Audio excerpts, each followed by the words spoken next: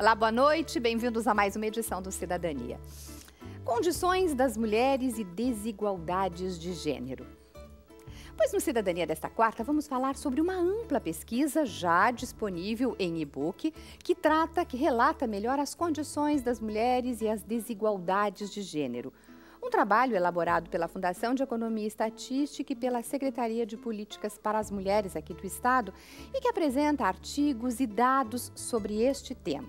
E a nossa convidada desta noite é uma das participantes desse trabalho, a coordenadora dessa pesquisa, a economista da FEE, Clítia Helena Bach, Bax Martins.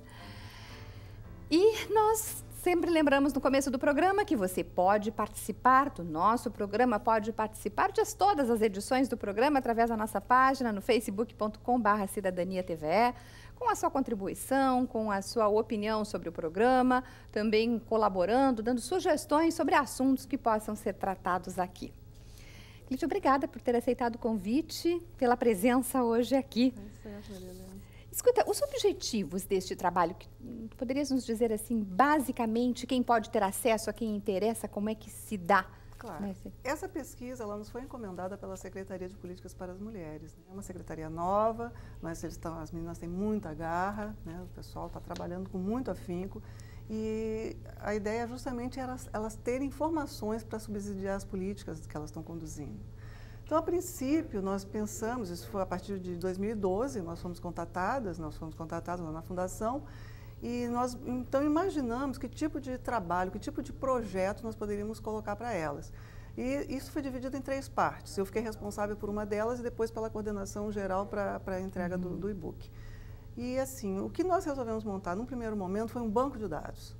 Nessa, naquele momento eu estava coordenando o núcleo de indicadores sociais e ambientais da Fundação, reuni uma parte da equipe, né, eu tinha gente da estatística, de, área, de diferentes áreas, e disse, olha, vamos tentar examinar o que, que nós podemos recolher de dados do IBGE e de outros órgãos públicos. Sim, vocês têm dados do PNAD, do IBGE. É, o, PNAD, a PNAD é do IBGE. É do IBGE, é, mas, mas ela apresenta aquele de domicílios, né? É, a pesquisa nacional Sim. já mostra por domicílios, né, evidentemente. Mas a gente pegou de outras fontes também, pegamos do DataSUS, pegamos... Tá do Ministério da Educação, ou seja, tentar cobrir o máximo possível. E aí, para poder fazer esse trabalho, uh, nós inclusive fizemos um treinamento, eu não eu diretamente, mas dois membros da minha uma pessoa da minha equipe, de outra equipe, para poder é, assim, ter o know-how. Assim, esse, esse curso foi feito pela ONU, foi dado pela ONU, né, por um órgão das Nações Unidas, a CEPAL, sobre indicadores de gênero, tá? para a gente poder ter justamente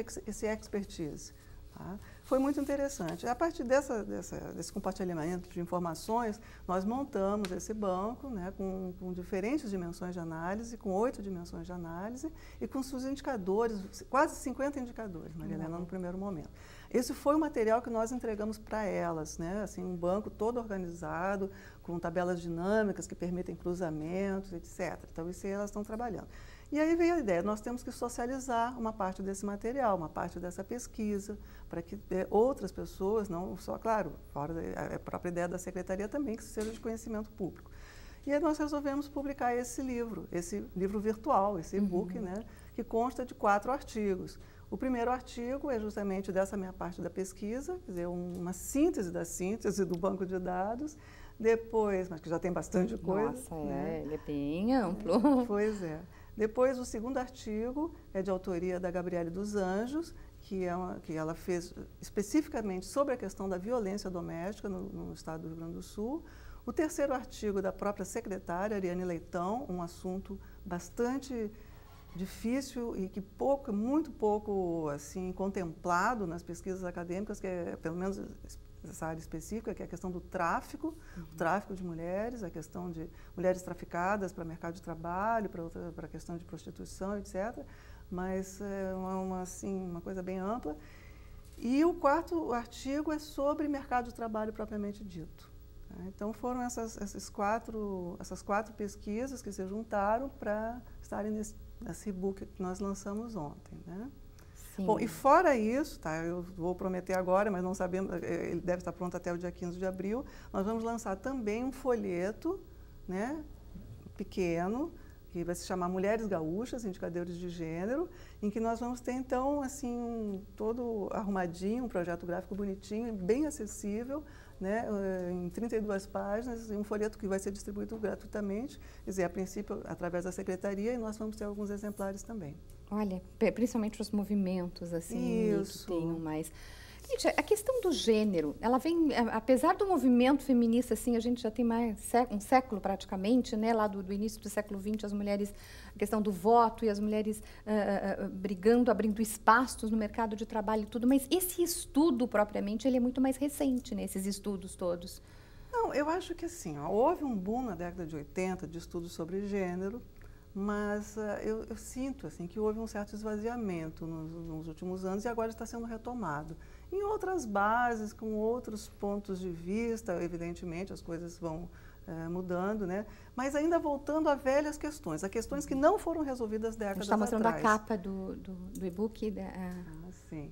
Então, isso é, isso é interessante observar, porque as mulheres conseguiram o mercado de trabalho, nós estamos avançando em termos da participação no mercado de trabalho. Hoje, as mulheres gaúchas compõem é, 44% da, da, da força de trabalho total, mas, de qualquer forma, isso não se traduz em uma remuneração equânime, né, em relação ao mesmo trabalho executado por homens e mulheres. Inclusive, nós temos, assim, estatisticamente, melhor qualificação do que os homens, mas isso também não se traduz em melhores salários.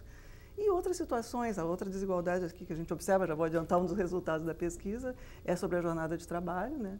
A jornada dupla de trabalho das mulheres, chega, das mulheres gaúchas, chega a quase a 59 horas por semana, a dos homens é 54.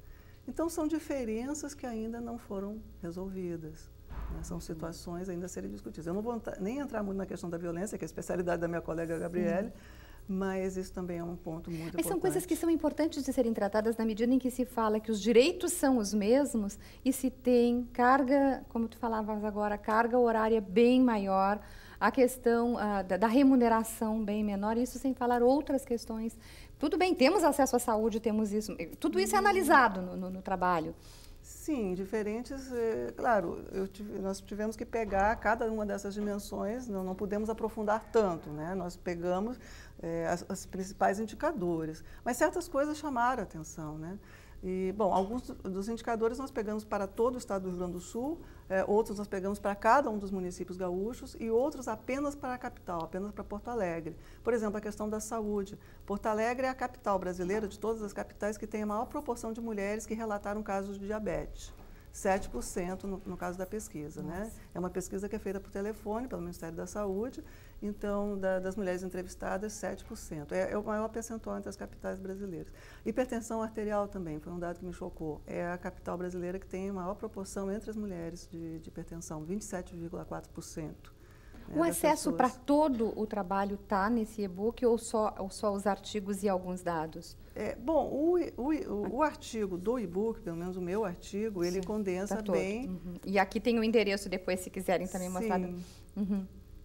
Sim, o ele, artigo todo ele, ele dá todas essas dimensões, dá as oito dimensões. Né? Uhum. Então dá para pegar um pouco de cada. Evidentemente, quando eu mencionei o banco de dados, é porque da, a partir dele se dá, dá para fazer muitos cruzamentos. Né? Isso, Mas todo esse banco de dados é... também está? Não, o banco de dados está lá na SPM. Aquilo é para elas trabalharem uhum. as políticas. Né? Mas eu digo, uma parte disso foi analisado, foi colocado, porque é uma infinidade de exato, dados. Aquilo exato. ali elas podem fazer um monte de coisa. Né? É, é uma ferramenta, né? uma brincadeira que você pode fazer vários cruzamentos estatísticos, pode fazer um monte de coisa.